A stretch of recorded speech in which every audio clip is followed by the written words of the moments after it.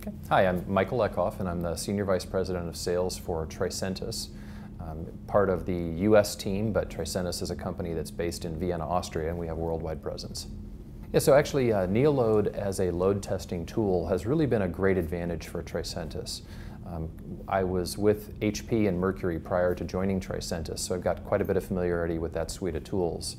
And what we found with Tricentis is the ability to integrate to NeoLoad um, and tie our functional testing tools into the NeoLoad performance testing is really unparalleled in the industry.